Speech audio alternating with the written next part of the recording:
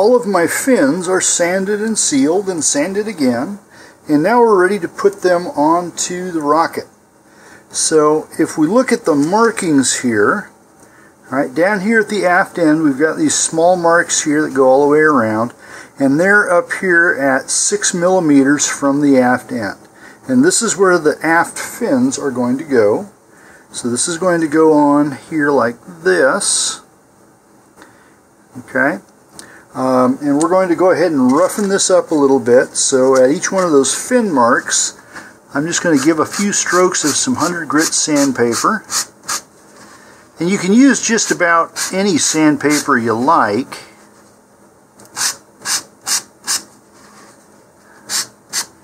Now, while I'm doing this, I'm going to go ahead and do one for the launch lug here. Okay, and for the launch lug up here, I'll go ahead and do the forward fins as well. So that's going to be this narrow band here.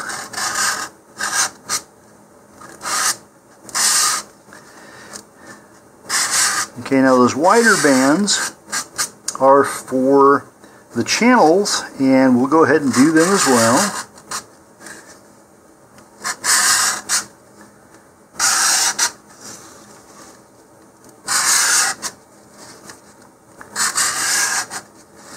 And all of this is just going to help the glue adhere better between the tube and the respective parts.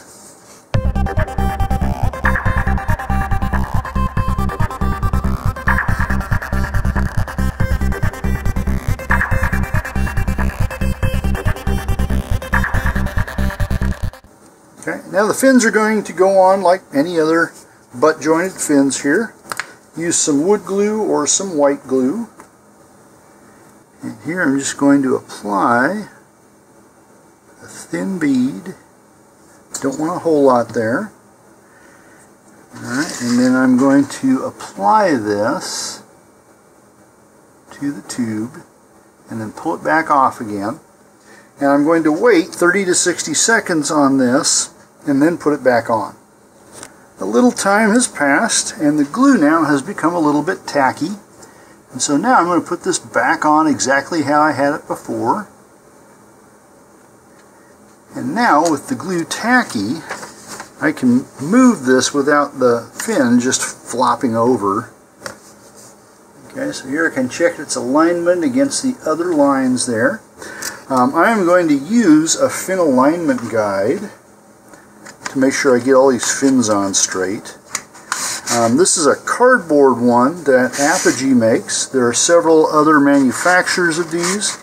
Uh, you can also find uh, 3D print plans if you have access to a 3D printer.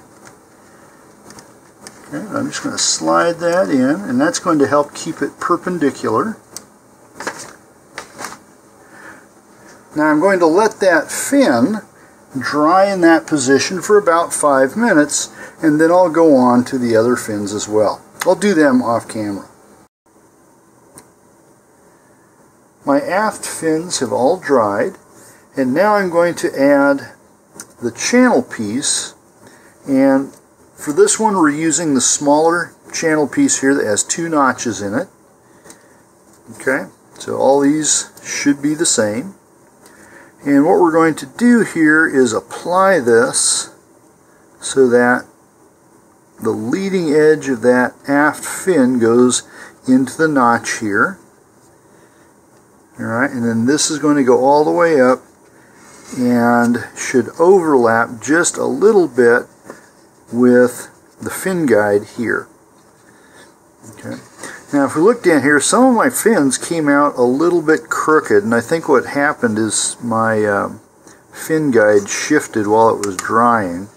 So if you do run into a problem like this and you don't want to have to break off the fin and redo it, what you can do is just modify this channel a little bit so that in the end this comes out even. Okay, it's going to be much more important um, to keep this straight and in line with the main fins than with these little guys here. Okay, so I'm going to start out though with this fin that's aligned exactly how it should be. and here, once again, we're going to use some wood glue.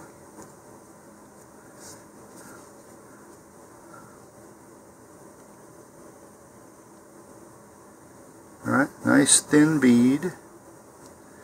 And I'm going to even that out so it gets up onto and even a little bit into the V notches there.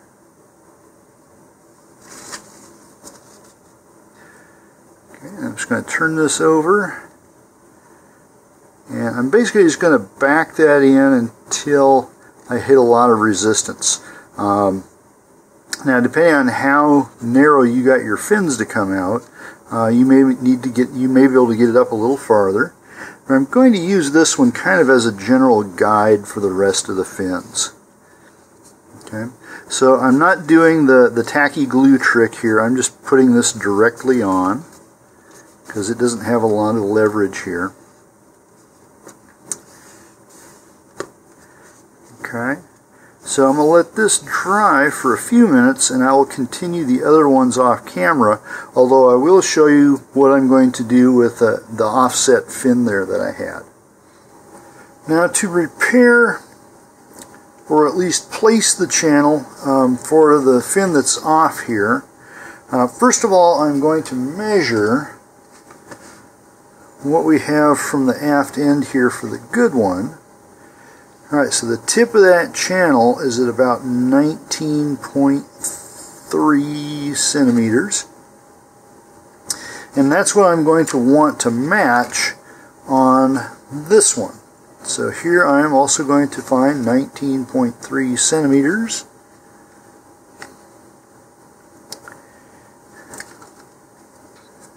Get on there. Okay, and so we're just going to make a little mark here. So in order for this end to be at the right place, Alright, this is going to go down. Now, like I said, it's off center there, and that's, I don't want that. Uh, so what I'm going to do is just take my hobby knife here, and I'm going to cut off this part here. So that right now it just has one side to it. Okay, now you think, well, now it's going to look all off balanced. It won't, because what we'll do later here is fill in all these gaps, um, even the one here that fits correctly, with some uh, contour putty, and that will hide the mistake there. Okay, so with this one, I'm just going to go ahead now and add some glue to it.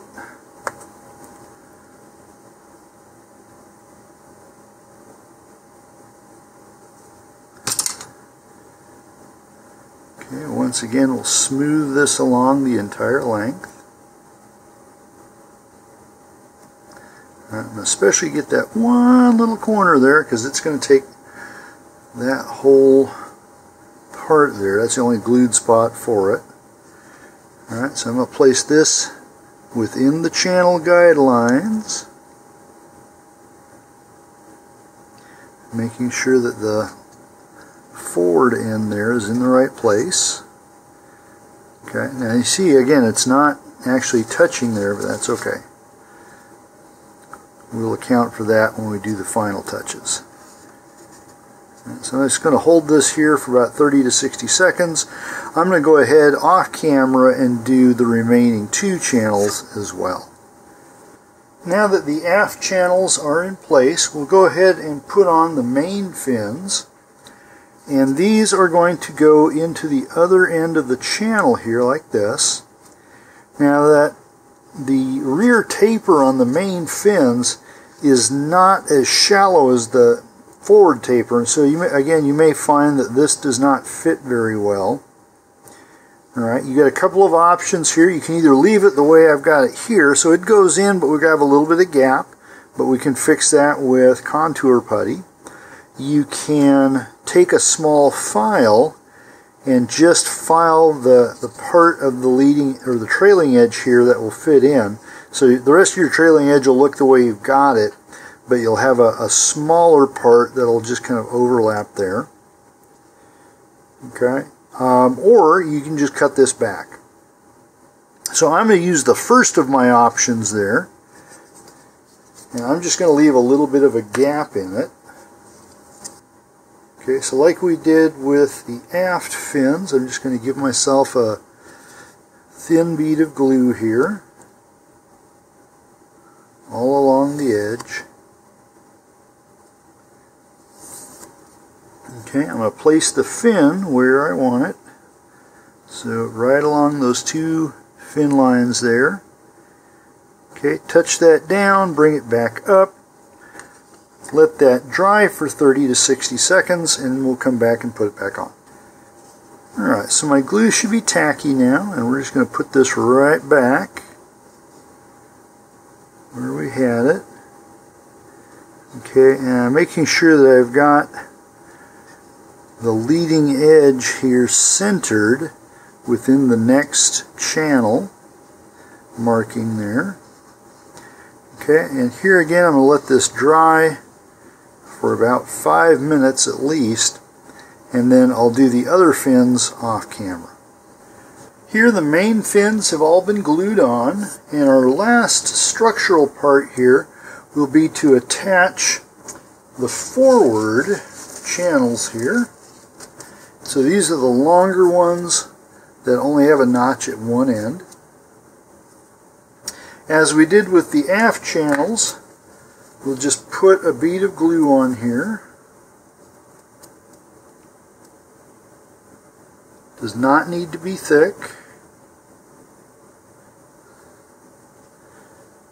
Okay, and just smooth that over the whole thing. And then excess glue can just be wiped off.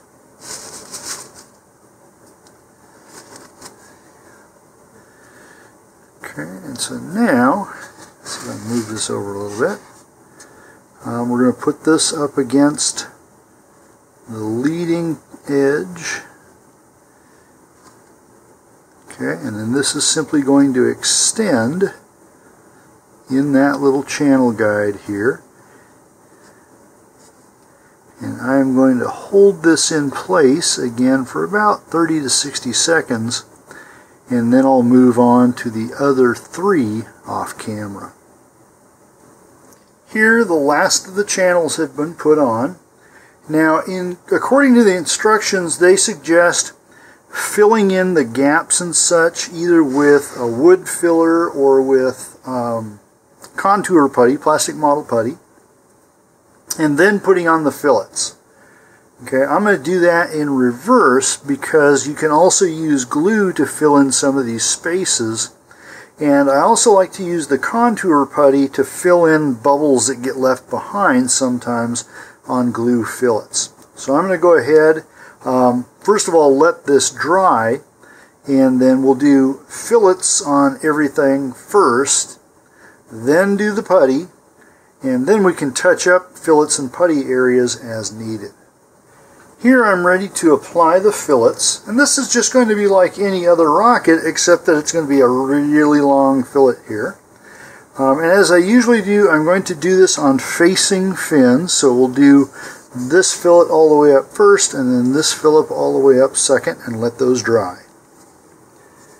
So I'm just going to start by running a bead of glue here.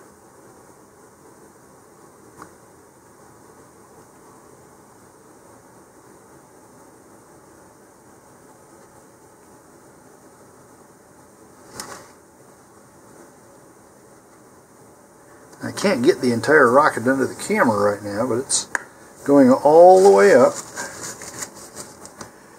Okay, and I've got some paper towels here so that I can wipe off the excess as I go along.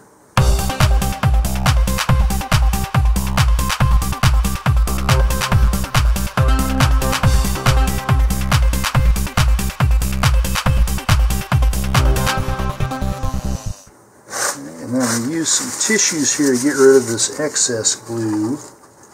It's not actually part of the fillet. I'll also remove any glue from on top of the channels.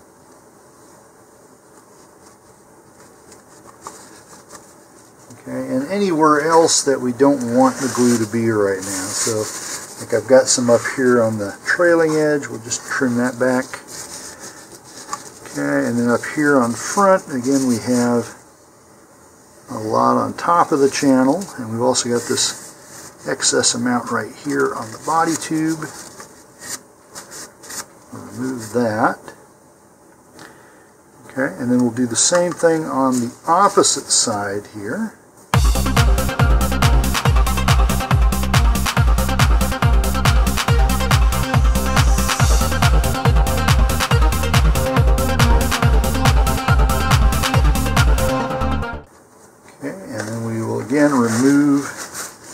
Excess glue here.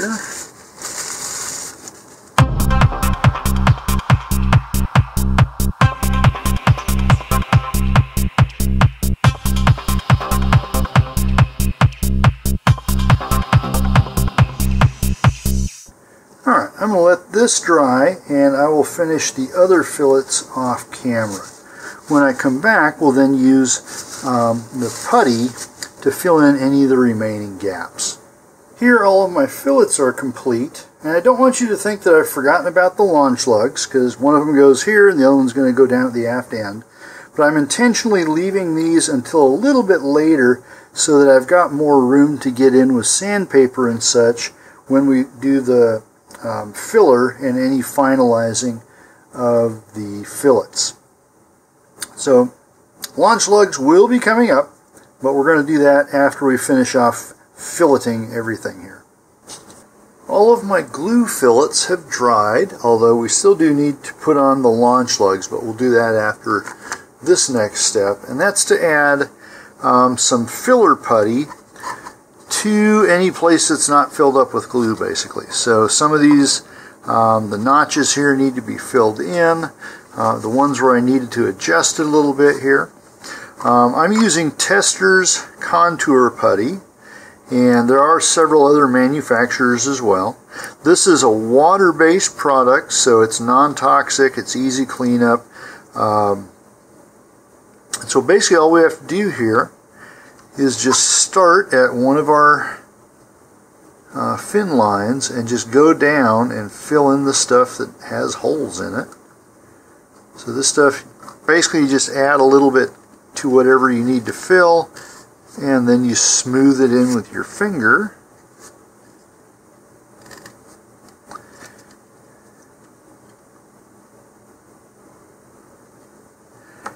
Um, it gets sticky very quickly so you need to do the, any movement you want to do with your uh, finger there you have to do very quickly otherwise it starts beating up but it takes about an hour or two to dry to the point where you can sand it without ruining the, the fillet you just made. Alright, now come back here. This is an easier one. Since all we have to do is just fill that hole there. Okay, and then coming back to our aft fin. Same thing, we'll just fill in that little hole.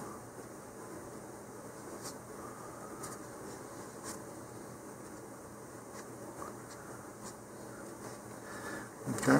And I'm going to continue doing this around the entire circumference of the rocket, but I'll do that off camera. While the contour putty is drying, we can go ahead now and put the launch lugs on, since I didn't find any place in my fillets that needed some additional attention. So we already sanded the regions here where the launch lugs will go. And now we just need to do the same thing for the two launch lugs. And like before, we just need a couple of strokes here using just about any sandpaper you prefer.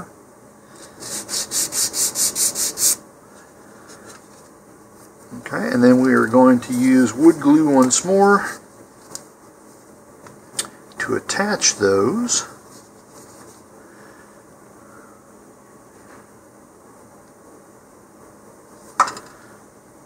Okay, so first we'll do the forward launch lug here. Center that between the lines. And then we'll do the aft launch lug the same way.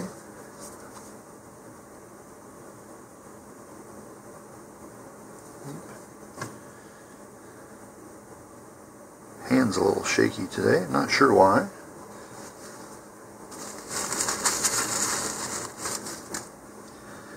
Right, and then that one's going to go back here.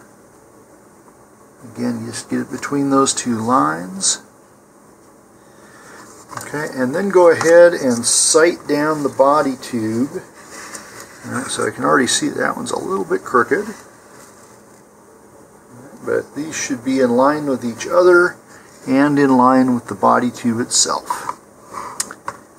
Okay, check it from the other direction. I think that just needs to be moved ever so slightly there. Alright, so now we'll just let these dry as well. And when we come back, um, we'll check the, the fill, uh, or check the filled areas, and then also put fillets on the launch lugs there.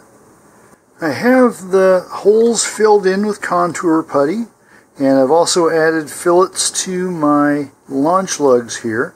So this is ready for priming. And talking about primer and paint here, um, according to the instructions, they just have us paint the whole thing white. But if you look on the box, it shows a blue on blue color scheme. See if I can get this under here. Like this. Okay, so I'm going to go with something similar to this. Um, I'm using a little bit brighter blues because that's what I have on hand. Okay, but uh, you can either go with the white color scheme or go with your own color scheme. This is your rocket, paint it the way you want. I will go ahead and uh, put on a couple layers of primer here and I'm not going to show a whole lot of detail in the painting and priming. I'm just not set up to video that. But I will show the intermediate stages here. Right, I can't show the whole model at once here, but we'll kind of scan it back and forth. This has had four coats of primer. And as soon as that primer completely dries, I'll go on to add the blue base coat. Here I have the entire rocket painted. Um, and you'll notice my colors are a little more saturated than what are shown on the box cover. But it should be easy to see even though it is a blue rocket this way. Okay, so I'm going to let this completely dry overnight and then uh, when I come back we'll put the decals on. My paint has dried overnight and it looks ocean-like. Alright, as I said, this the, the illustration for this um, has much more muted colors, but I didn't have any of those available, so I just went with what I had here. I'm actually going to let this uh, continue curing here for at least another 12 hours, because even though it's dry, it still feels a little bit soft to me. And I want to make sure this is completely dry before we start the decals. Now we're ready for the vinyl decals here. And I've got this ready to go. Okay, I'm going to pull the nose cone out a little bit. If you want, you can completely pull your nose cone out, especially if you've done like me and have not yet attached the shock cord. Okay, because our first two decals are going to go right at the end of the body tube here. I'm just going to reposition things a little bit.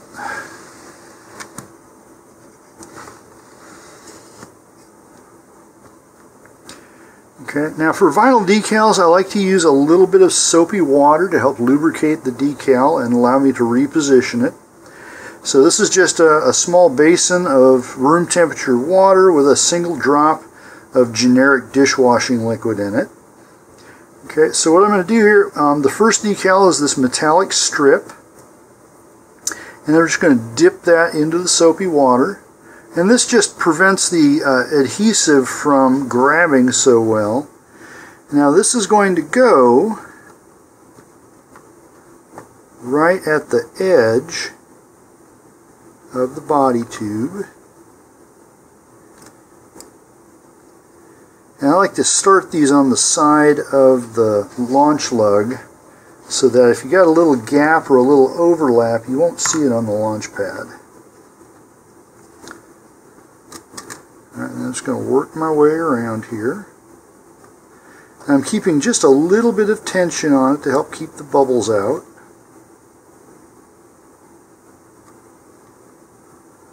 Alright, continue this all the way around.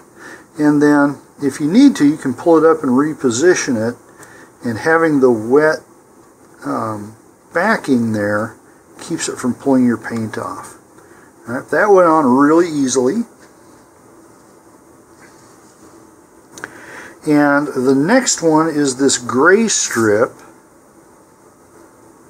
And this is going to go directly aft of the silver strip. So the same way here, I'm just going to dip this in the water.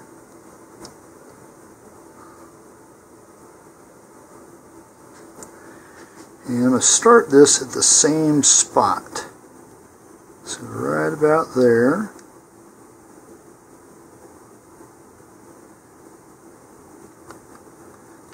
Okay, again, keep a little tension on there, and we want to get it right next to that silver strip. Um, if you really want to make sure you don't have paint showing, you can overlap it by just like half a millimeter. Right. And that one came out just a little bit off. So you can either say, well, that's close enough for me, or you can reposition it here. So I'll just put a little more tension on that and bring it to that point. Okay, now I'm going to take a tissue. You can also just use a, a washcloth or a paper towel. And I'm just going to squeegee the excess water and air out all the way around here. Okay, and you can also use your finger here. If you feel or see air bubbles, just squish them to the nearest edge. Alright, next we have these black decals. Um, there are four of them here on the sheet. And these are going to go in between the uh, channels there um, all the way around. So what the instructions say to do is um, go ahead and dip them in the water here and then measure them against that gap and you'll probably have to trim it as you go along here. Now these are going to go at 3 and 7 eighths or 98 millimeters from the forward end of the body tube.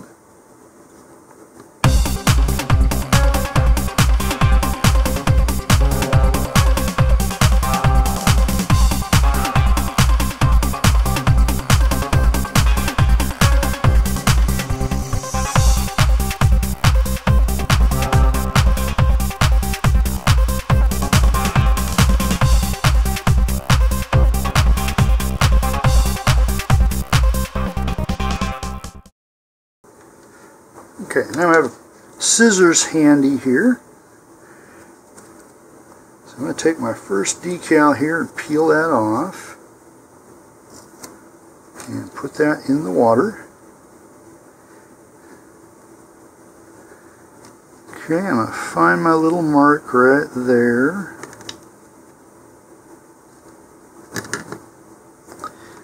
turn this around, I think.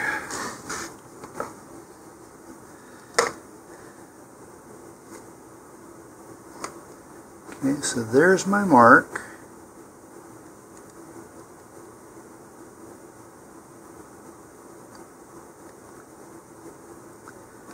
I bring that around.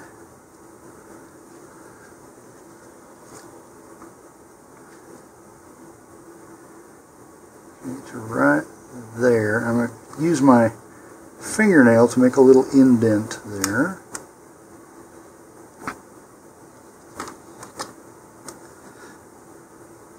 And now I'm just going to cut this at that indentation. And then I'll put this right back on again. Just enough to cover the mark. Okay, so just like that, and I'm going to do the other three black strips off camera and then come back. I have all of the black strips done and now we have these yellow strips and these are going to go 4 millimeters or 3 sixteenths of an inch behind the black ones. And we're going to do this in kind of the same way.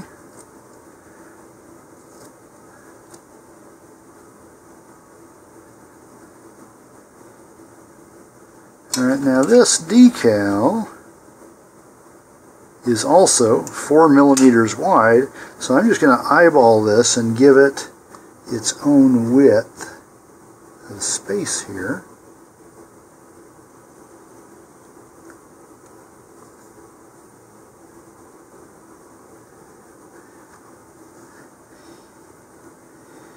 And my black came out just a little bit crooked on a few of those. Probably have a one millimeter measuring error or so. I'll try to compensate here.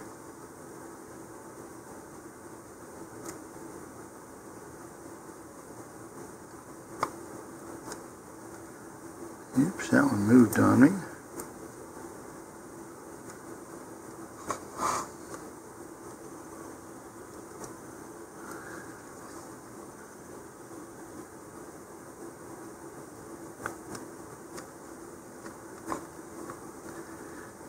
Okay, and just like with the black, I'm going to do the rest of these off camera as well.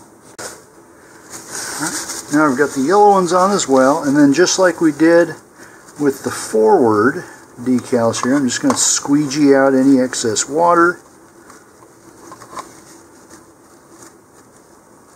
and get the air bubbles out.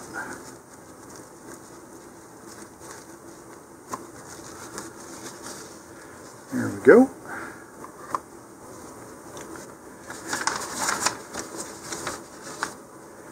Alright, now your kit may vary. Uh, mine actually came with extra yellow and uh, chrome decals here, uh, but there's no indication that these go on to the model. And so these appear to be, uh, just appear to be spares. Okay, so the next one we're going to do is uh, the Aerospatiale. Um, these are water slide decals. Okay, and they are going to go roughly um, along the channel here on two sides. So pick whatever two sides you want. I am going to change out the water here though because I don't want the soapy water for a water slide decal. I've exchanged the water for clean water now. Um, some people like to add just a little bit of white glue to that. Uh, I'm not going to do that. And now I'm going to cut this decal so that we have roughly the same white space here above on both sides.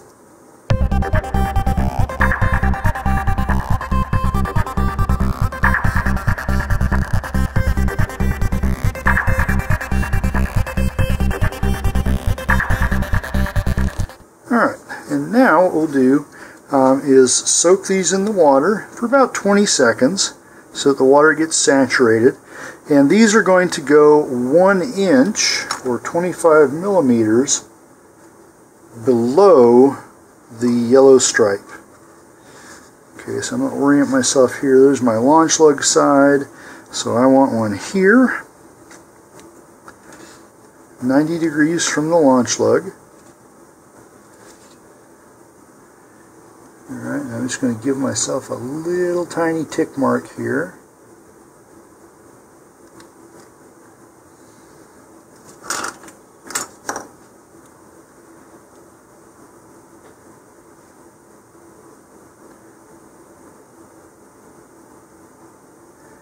Okay, now I'm going to check this by just seeing if it's going to slide yet. So I'm just putting a little tension on it. Not quite yet.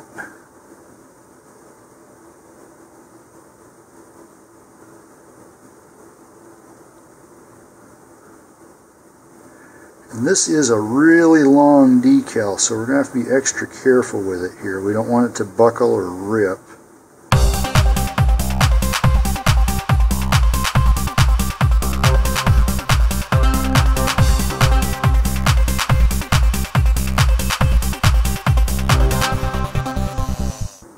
Okay, it's just starting to slip there.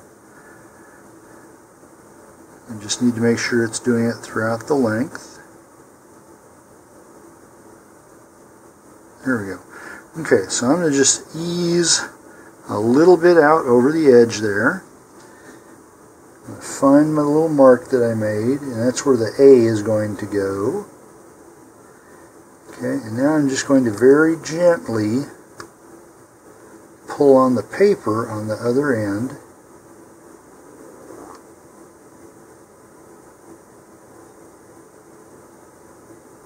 Just use the channel and the fin as a guide. Okay, just like that. And then take the tissue here. And just squeegee out the air and excess water.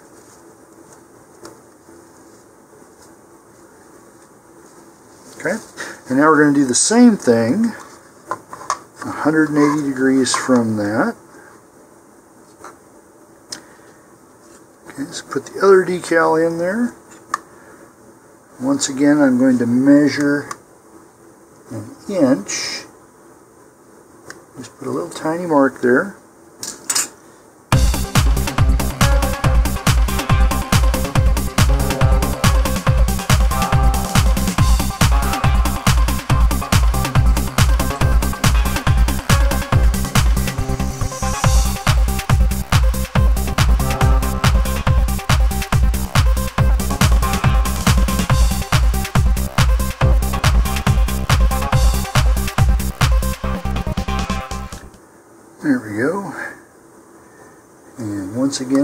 line this up with the channel and my little tick mark there.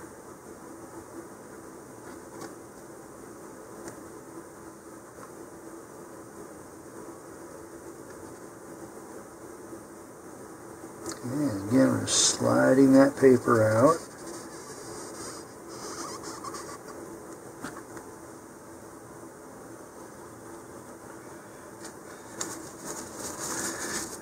and then just squeegee out the air and water.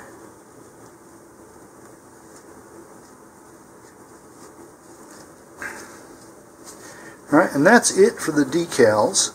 Um, some people like to use a clear coat, especially over water slide decals.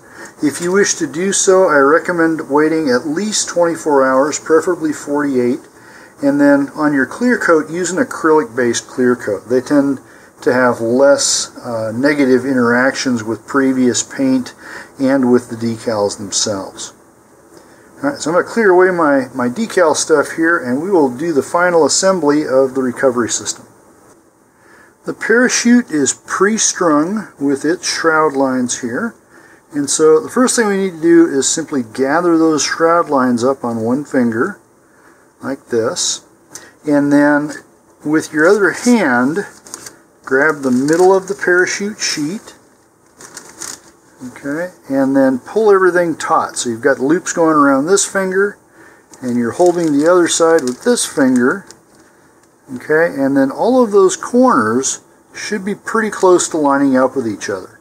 And you can change the relative length on either side here to help line those up. Now, if you're going to go by the instructions here, they're going to tie this directly to the nose cone. And to do that, you simply pass your loops here through the eyelet, open them back up again, and then you can either pass the entire parachute through these loops. Alright, so you would take it like this, pass it through the loops and pull it taut um, or you can do what it's trying to do right now, is just take the nose cone, pass the loops over them, and pull it taut from there. Now if you've seen any of my other videos though, you know that I don't like to tie parachutes to my rockets. Instead, I prefer to use snap swivels. Alright, so here I'm just going to go ahead and reposition my chute, make sure everything's good again. Alright, I'm going to grab my loops here, and throughout this time, I'm going to hold on to it down here with my little finger so the lengths don't change. This is a snap swivel that you would find in the fishing department of uh, department stores or sporting goods stores. The size of the swivel itself doesn't make a whole lot of difference. Uh, most of the swivels you're going to find um, are more than robust enough to handle the weight of this rocket. What is important is that the snap part here is big enough to fit over the eyelet of the nose cone. And we'll come back to that in just a moment.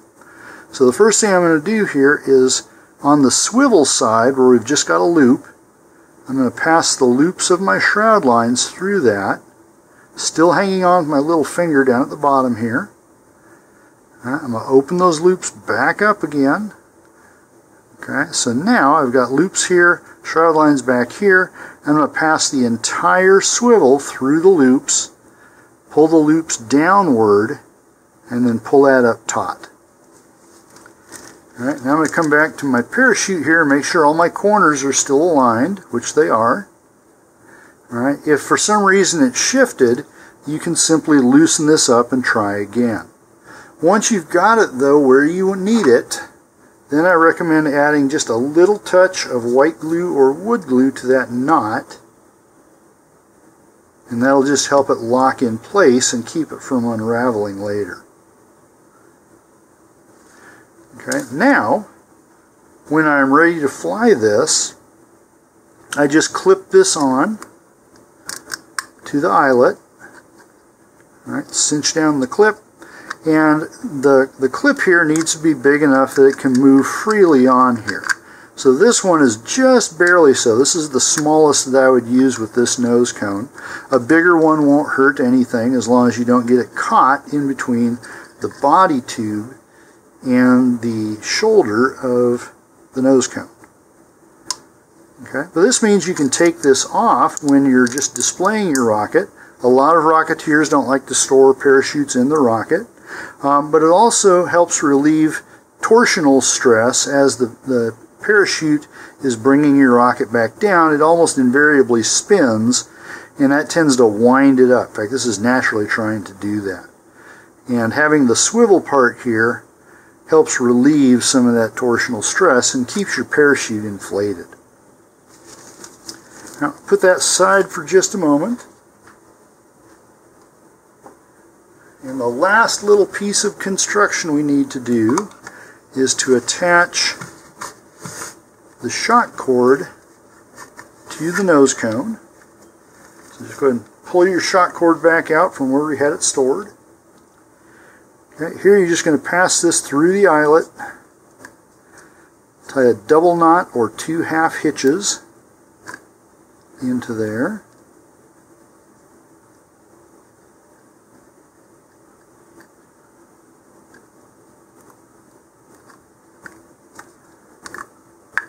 Alright, and then pull on that from all sides so that you get a good cinch down knot there.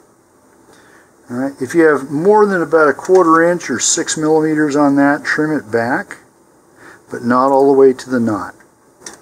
And that just helps keep it from getting caught between the shoulder of the nose cone and the body tube. And then like we did with the shroud lines, once you've got that where you want it, go ahead and just put a little dab of white glue or wood glue on the knot to help keep it in place. Here's my finished rocket and this came out rather well even though like I said the colors are kind of bright given what this actually is. Uh, and this did take quite a while to build because we had to have a lot of time spent waiting for fins and channel pieces and things like that the treatment of the fins and the sanding and everything. Um, so the the video that takes about two hours to watch in total uh, represents um, many many hours of work but you can actually get a really nice looking rocket and uh, although you do have these channel pieces and some some tricky sanding uh, it's not too difficult. It's just time consuming. So I hope you had fun building this and have a great flight and a safe recovery and please stay tuned for more of my videos